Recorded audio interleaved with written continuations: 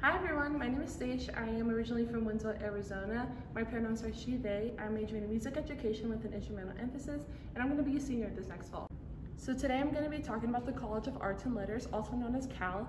Within CAL, we have comparative cultural studies, global languages and cultures, philosophy, English, history, music, theater, and interior design. Right now, I'm inside of our School of Music, outside of our Kitt Recital Hall, which holds performances ranging from student recitals all the way to guest performances that happen on campus. Um, within our School of Music, we have majors including Music Secondary Education, Music BA, or Music Performance, and with that, we have instrumental or choral emphases.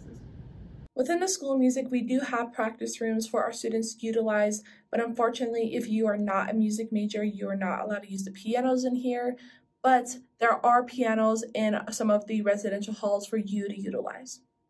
Within our Performing and Fine Arts building, we usually have more events than there are days of the year. So if you're ever looking for something new on campus, you can look at any events going on on Triplet Connects. So right now, I'm inside of the School of Art section within the Performing and Fine Arts building. Within the School of Art, the majors include arts, education, ceramics, interior design, printmaking, sculpturing, new media art, and painting.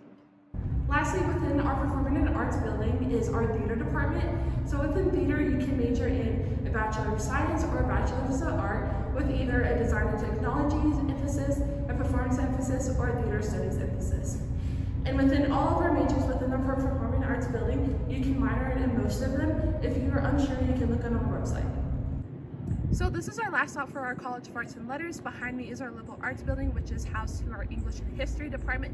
Within English, there are different studies you can major in, such as linguistics, creative writing, writing, literature, or English. Also within our English department, there is a Bachelor of Arts in English, a Bachelor of Science in English, or secondary education. And then within our History department, there's also a Bachelor of Arts, a Bachelor of Science, or history educa secondary education.